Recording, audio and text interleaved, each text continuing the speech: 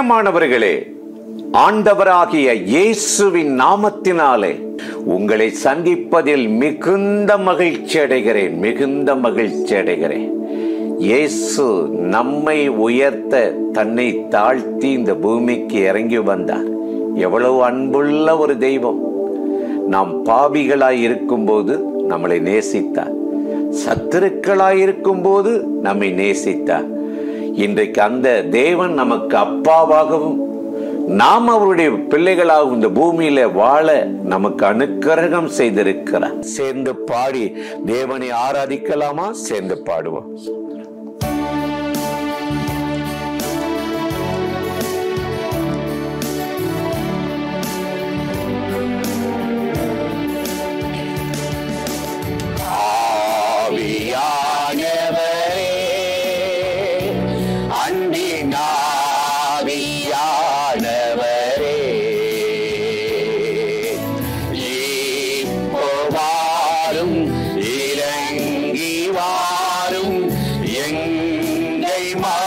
Hey.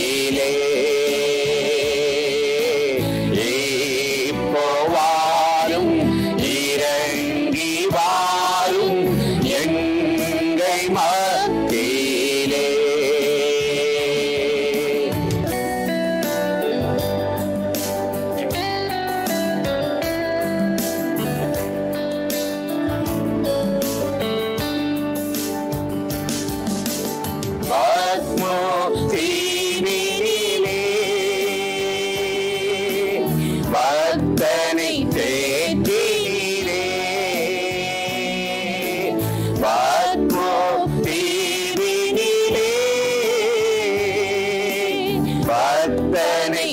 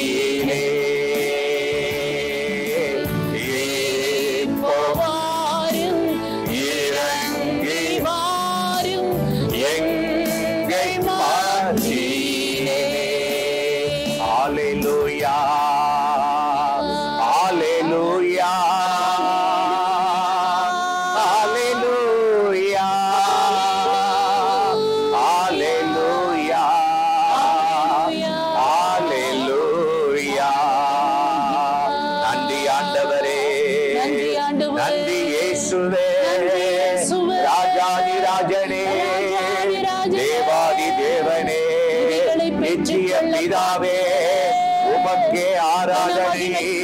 உமக்கே மகிமை நிறைந்து ஹalleluya ஸ்தோத்திரம் ஆவியானவரே நாய்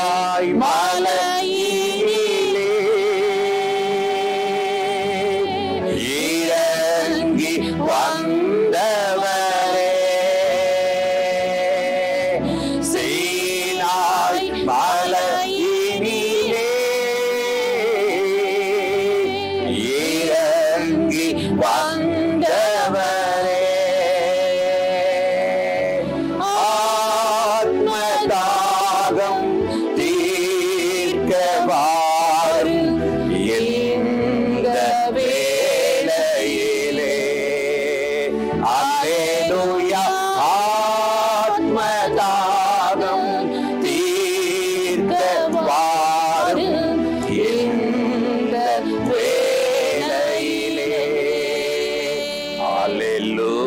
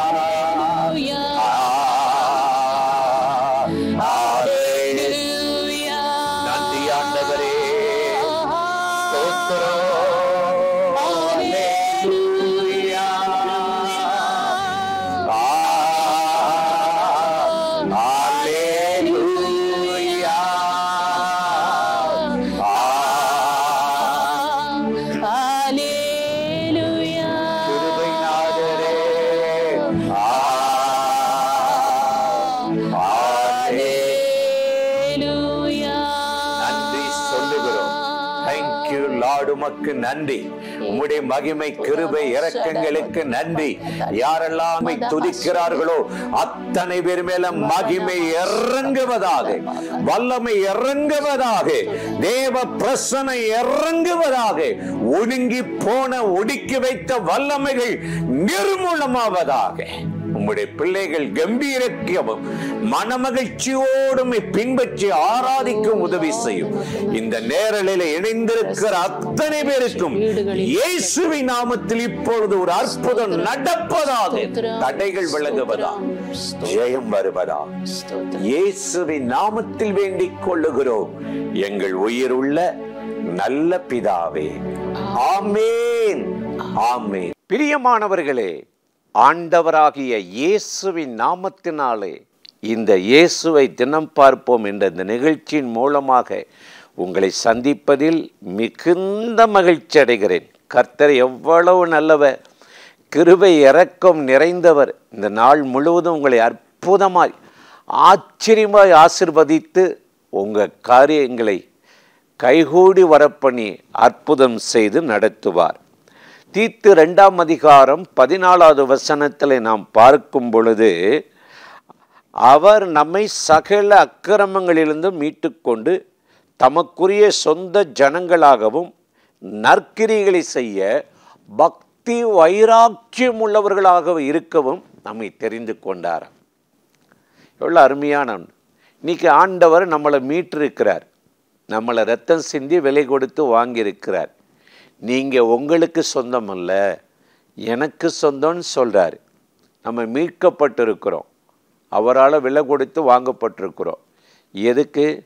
நீங்கள் நகையை வாங்கிட்டு வந்து அல்லது ஒரு வாட்சை வாங்கிட்டு வந்து அது ஷோ கேஷில் பீரோவிலே இருக்கட்டும். பார்த்துட்டு சூப்பராக இருக்குது அருமையாக இருக்குன்னு சொல்கிறதுக்கா இல்லை. அதை அணிந்து கொள்ளுகிறோம். அதே போல தான் கர்த்தர் ஒரு நோக்கத்தோடு நம்மை மீட்டு ரட்சித்து இந்த பூமியில் வைத்திருக்கிறார். எதற்கு? நாம் பக்தி வைராக்கியம் உள்ளவர்களாக இருக்கணுமா?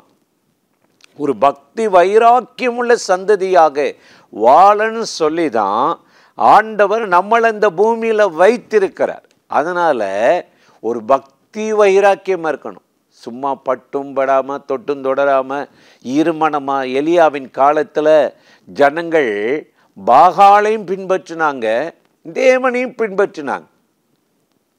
ரெண்டும் நல்லா தான் இருக்குது இங்கே போனால் அங்கே அங்கே போனால் அது அப்படின்னு. ஆனால் எலியாவுக்கு அது விடலை. சேனைகளின் கர்த்தராகிய தேவன் பக்கமாய் நான் வைராக்கியமாக இருக்கிறேன். ஜனங்கள் உம்முடைய பழிபீடத்தை தகர்த்துட்டாங்க உடன்படிக்கை மீறிட்டாங்க. வைராக்கியமாகி மூணு வருஷம் ஆறு மாதம் ஒரு பஞ்சத்தை வருவிச்சு ஜெபம் பண்ணி வானத்தை அடிச்சிட்டார். ஒரு வழிக்கு அப்புறம் வந்த பின்னாடி அவன் சவால் விடுறான். பாகால் தெய்வம்னா பாகாலை பின்பற்று. கர்த்தர் தெய்வம்னா கர்த்தர்கிட்ட பின்பற்று. இருமணம் வேண்டாம். அவன் சொன்னபடியே வானத்திலிருந்து அக்கினி இறங்கினது. ஜனங்கள் நடுங்கினாங்க பயந்தாங்க. இன்னைக்கு நாம் வாழ்கிற சமுதாயத்தில் பொல்லாத உலகம். எங்கே பார்த்தாலும் ஜனங்கள் ஒரு குருட்டாட்டத்தில் முரட்டாட்டத்தில் மூட நம்பிக்கையில் இப்படி அப்படி அப்படிலாம் வாழ்கிறாங்க ஆலயங்களே நிறையா வந்துருச்சு. நிறையா வந்துருச்சு. ஜப ஜபத்தை மேலே ஒரு நம்பிக்கை இல்லாமல் தளர்வு ஏற்பட்டு சோர்ந்து போகிறாங்க ஆனால் தேவன் ஒரு பக்தியுள்ள வைராக்கியமுள்ள சந்ததியை எழுப்பத்தான் உங்களை என்னை ரட்சித்து இந்த பூமியில் வைத்து என்ன செய்கிறார் தெரியுமா? யாக்கோப்பு நான்காம் அதிகாரம் ஐந்தாவது வசனத்தில் பார்க்கும் பொழுது நமக்குள்ளே இருக்கிற வைராக்கிய வாஞ்ச உள்ள ஆவியா?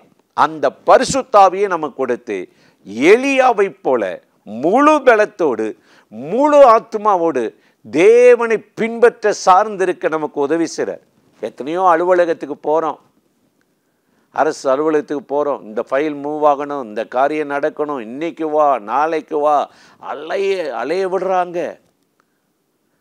நமக்கு நினப்பு வரும். அவர் எது எதிர்பார்க்குறாரோ? கொடுத்துருவோமோ?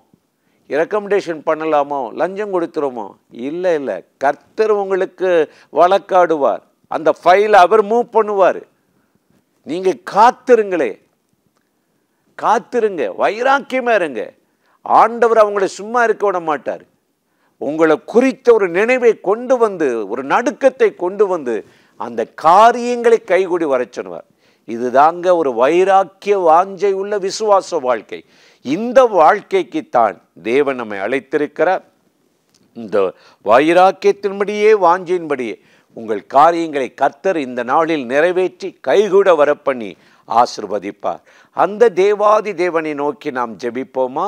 அன்பும் இரக்கமும் கிருபை நிறைந்த நல்ல ஆண்டவரே யாரெல்லாம் இந்த நிகழ்ச்சியின் மூலமாக இணைக்கப்பட்டு இந்த வார்த்தைகளை கேட்டார்களோ அத்தனை பேருக்கு ஒரு நன்மை வரட்டும் அற்புதம் நடக்கட்டும். நிறைவேறாத தாமதமாய் கொண்டிருக்கிற காரியத்திலே உம்முடைய கரம் ஒரு நன்மையை செய்து ஆசிர்வதிக்கும்படி. இயேசுவி நாமத்தில் ஜெபிக்கிறோம். இயேசுவின் நாமத்தில் அற்புதத்தை பெற்றுக்கொள்ளுகிறோம் நல்ல பிதாவே. ஆமீன். ஆமீன். இந்த நிகழ்ச்சியை தொடர்ந்து பாருங்க மற்றவங்களுக்கு அறிமுகப்படுத்துங்கள். ஆண்டவராகிய தேவன் நம்மை ஆசிர்வதித்து நடத்துவார். ஆமீன்.